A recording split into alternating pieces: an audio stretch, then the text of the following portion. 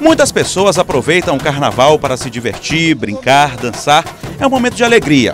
Mas, lamentavelmente, em meio à festa há o alto consumo de drogas lícitas e ilícitas. Os próprios especialistas confirmam. É uma realidade preocupante.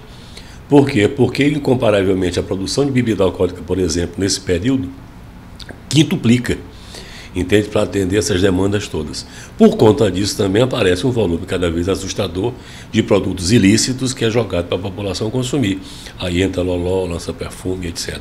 Com as drogas vêm os problemas de saúde. O uso pode levar a overdose, por exemplo, que é quando o organismo da pessoa perde a capacidade de metabolizar o produto. A overdose está diretamente ligada a cinco pontos: o estado de saúde da pessoa, a idade da pessoa que consome a droga, o tipo de droga que é consumida, além da frequência e da pureza dessa droga. A overdose é, uma, é o extremo da capacidade de metabolização de uma substância. É o limite, a fronteira entre o vivo e a morte.